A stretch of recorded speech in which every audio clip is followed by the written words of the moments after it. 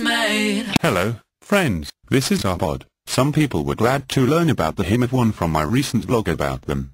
Some asked how I'm able to make such connections.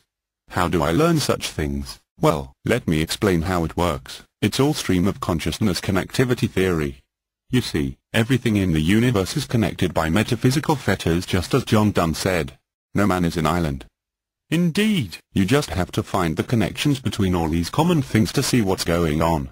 It's right in front of you people. You just have to connect the dots people. Here, I will show you how it works. Let's see who is really to blame for Faith Hill's recent meltdown. Well simple. Let's start with Faith Hill.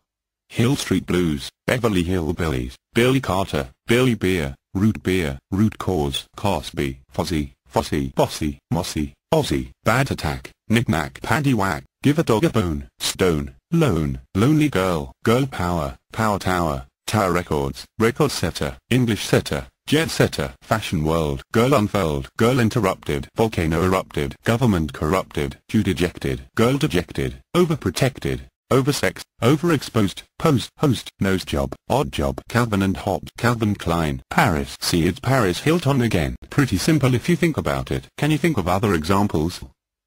Can you connect the dots?